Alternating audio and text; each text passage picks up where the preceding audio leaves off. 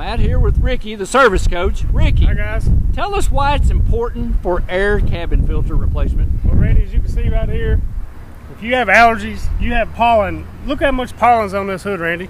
This this is a red truck, and it's almost yellow. So, reason why we're mentioning this to you is because this can get into your in-cabin air filter. Absolutely. And this could get into your AC vents and blow in there when you got your heater on or your air conditioner on for the summertime and the wintertime.